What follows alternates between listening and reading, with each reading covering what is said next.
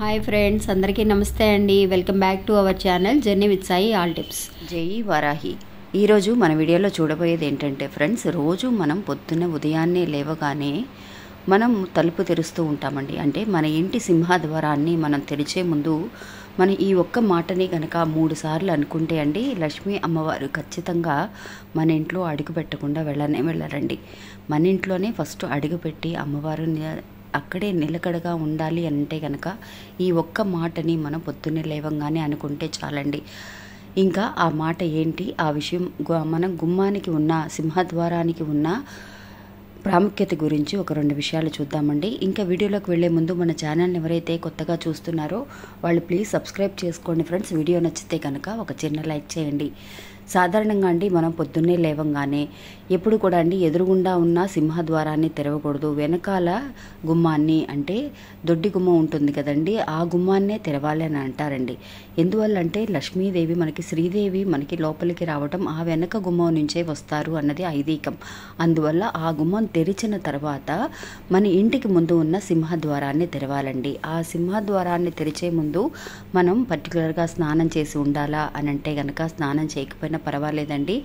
కానీ తెరిచే ముందు చక్కగా శుభ్రంగా మనం మంచి ఒక ఏదైనా ఒక టెన్షన్లో కానీ లేదంటే ఎవరినైనా తిడుతూ కానీ అలా కాకుండా చక్కగా చిరునవ్వుతో తెరుస్తూ ఆ గుమ్మాన్ని తెరుస్తూ ఈ ఒక్క మాటని అనుకోవాలండి. ఇంకా ఆ మాట ఏంటి మనం ఎలా అనుకోవాలి అని తెలుసుకోవడానికి ముందుగా ఒక రెండు విషయాలు ఆ గుమ్మం గురించి తెలుసుకుందామండి. సాధారణంగా అండి మనం ఎప్పుడు కూడా సొంతిల్లు కట్టేటప్పుడు మన ఇంట్లో పూజలు చేస్తూ ఉంటాం. మన గుమ్మానికి అంటే తలుపులు పెట్టడానికి ముందుగా ఒక పూజ అనేది చేస్తూ ఉంటారంట అంటే సింహద్వారం అంటే లక్ష్మీ కటాక్షం అనేది మన ఇంట్లోకి రావాలని అది మంచి టైం చూసి వాస్తు ప్రకారం కడుతూ ఉంటారండి. అందువల్ల అటువంటి గుమ్మానికి చాలా వరకు కూడా విశిష్ట విశిష్టత ఉంది. అందువల్ల అటువంటి గుమ్మం ముందు కూడా చాలామంది మన ఇల్లు కట్టేసిన తర్వాత ఎటువంటి దిష్టి అనేది మనకి తగలకుండా ఉండాలి అని అంటే ఎప్పుడు కూడా సింహద్వారానికి ముందుగా ఏం చేస్తారనంటే ఒక నిమ్మకాయని ఒక నాలుగైదు పచ్చిమిరకాయలు కలిపి వేలాడదీస్తూ ఉంటారండి దిష్టి కోసం. ఎందువల్లంటే మనకి నరదిష్టి అనేది పడకుండా ఉండాలి అని అంటే అలా పచ్చిమిరపకాయలను ఒక నిమ్మకాయని కలిపి కడుతూ ఉంటారు. ఎందువల్లంటే అండి ఎప్పుడూ కూడా పొద్దున్నే మనం లేవంగానే అందరి ఇళ్ళకి ఇళ్ళల్లోకి కూడా శ్రీదేవి అమ్మవారు కానివ్వండి జ్యేష్ఠాదేవి అని ఇద్దరు కూడా వెళుతూ ఉంటారండి. అది ఆ ఇంటి పరిసరాలను బట్టి అమ్మవారు లక్ష్మీ అమ్మవారు ముందు వెళ్ళాలా లేదంటే జ్యేష్ఠాదేవి ముందు వెళ్ళాలా అనేది కూడా నిర్ణయించబడుతుందండి. ఇంకా జ్యేష్ఠాదేవి అమ్మవారికి నిమ్మకాయ అంటే నిమ్మకాయ పులుపుకి సమానం సమానమండి పులుపు కానీ పచ్చిమిరకాయలకి పచ్చిమిరపకాయలు వచ్చేసి మనకి కారానికి గుర్తండి. అందువల్ల కారము ఈ రెండు కలిపి ఆ, రుచి అనేది అమ్మవారికి ఇష్టం అంటండి అందువల్ల ఎక్కడైతే ఏ గుమ్మం ముందైతే కనుక నిమ్మకాయలు పచ్చిమిరపకాయలు ఈ రెండు కూడా కలిపి కట్టి బయట వేలాడదీస్తూ ఉంటారో ఆ ఇంటి గుమ్మం ముందే ఆవిడ ఆ రుచిని ఆమె స్వీకరించి వెనక్కి తిరిగి వెళ్ళిపోతూ ఉంటారంటండి. ఇప్పుడు నేను ఇమేజ్లో చూపిస్తున్నట్టుగా మీరు ఏం చేస్తారనంటే మీ ఇంటి ముందండి నరదిష్టి పోవాలి అని అంటే లేదంటే మనకి ఇలా లక్ష్మీ కటాక్షం దొరకాలి అని అంటే కనుకండి సొంత ఇల్లు అయినా సరే అద్దిళ్ళు అయినా సరే కొత్తగా కట్టబోయే ఇల్లు అయినా సరే మనం గుమ్మం ముందు కనుక ఇలాగా కింద ఒక మూడు పచ్చిమిరకాయలు మధ్యలో ఒక నిమ్మకాయ పైన ఒక మూడు పచ్చిమిరకాయలు కలిపి గుమ్మం ముందు కనుక కడితే కనుక అండి నిజంగా జ్యేష్ఠాదేవి అమ్మవారి ఇంట్లోకి ప్రవేశించకుండా బయట నుంచి బయటే అంటే ఆ రుచి అనేది అమ్మవారికి ఇష్టం కాబట్టి అదే స్వీకరించి అటు నుంచి అటు వెళ్ళిపోతారంటండి. అందువల్ల ఇలా ఒకసారి ఎవరైనా చేయక ఇంతవరకు కూడా ఎవరైనా లేకపోతే ఇది ఒకసారి ట్రై చేసి చూడండి ఫ్రెండ్స్. అంతేకాకుండా ఇంకా తెల్లవారుజామున మనం వెనక ద్వారాన్ని తెరిచిన తర్వాత ఒక పది నిమిషాల తర్వాత ఒక అరగంట తర్వాత మీరు సింహ ద్వారాన్ని ఎప్పుడు కూడా తెరవండి ఫ్రెండ్స్. తెరిచే ముందు ఏం చేస్తారనంటే కొంతమంది వాకిలు ఊడవటం కోసం మన చీపురిని తీసుకొని వెళుతూ ఉంటాం తలుపు తెరవ తెరిచే ముందు.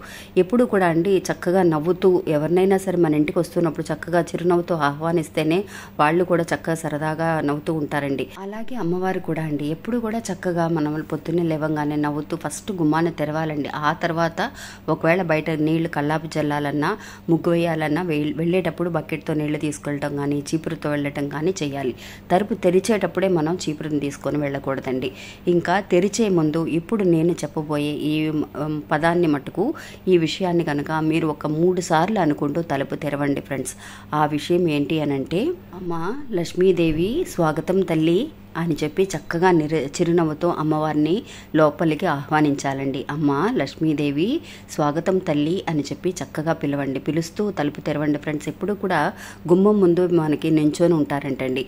అందువల్ల మనం ఎప్పుడైతే చక్కగా చిరునవ్వుతో తెరుస్తూ ఉన్నామా చిటపటలాడుతూ అంటే కోప కోపంతో ఉంటూ ఉంటామండి. ఇంట్లో ఉన్న కోపంతో అరుస్తూ ఉంటాం. అలా కాకుండా చక్కగా ఈ పదాన్ని అనుకుంటూ ఆహ్వానిస్తే కనుక అండి లక్ష్మీదేవి అమ్మవారు మన ఇంట్లోనే ఉండటానికి చాలా వరకు అవకాశాలు ఉన్నాయండి అందువల్ల మెయిన్గా ముందు మీరు గుమ్మం ముందు ఎవరైతే కనుక ఇలా కట్టకుండా ఎవరైనా ఉంటే కనుక వాళ్ళు ఫస్ట్ ఇది కూడా చేయండి ఫ్రెండ్స్. మనకి నెగిటివ్ వైబ్రేషన్ అనేది అట్నుంచి అటే వెళ్ళిపోతూ ఉంటుంది. చక్కగా మంచి ధన లాభాలు అనేవి కలుగుతూ ఉంటాయి. ఇంట్లో ఎటువంటి చెడు శక్తులు కూడా ప్రవేశించకుండా ఉంటాయి. ఎటువంటి అనారోగ్యానికి కూడా గురి కాకుండా ఉంటామండి. ఇలా ఒకసారి ట్రై చేసి చూడండి ఫ్రెండ్స్. ఇలాంటి చిన్న చిన్న పనులన్నీ కూడా మనం సరి చేసుకుంటూ ఉంటే కనుక మన ఇంట్లో చక్కగా కష్టాలన్నీ తొలగిపోయి చక్కగా సంతోషాన్ని ధనలాభాన్ని మనం పొందవచ్చండి. ఇంకా ఇది ఫ్రెండ్స్ ఈరోజు మన వీడియో అండి. ఈ వీడియో కూడా మీ అందరికీ నచ్చుతుంది అనుకుంటున్నాను ఫ్రెండ్స్. నచ్చితే కనుక ఒక చిన్న లైక్ చేసి సపోర్ట్ చేయండి. మళ్ళీ మంచి మీ ఇంకొక వీడియోతో రేపు పొద్దున్నే కలుస్తానండి. అంతవరకు సెలవు. నమస్తే.